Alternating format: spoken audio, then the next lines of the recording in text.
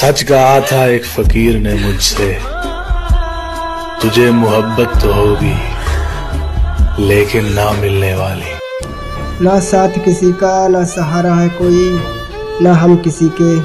ना हमारा है कोई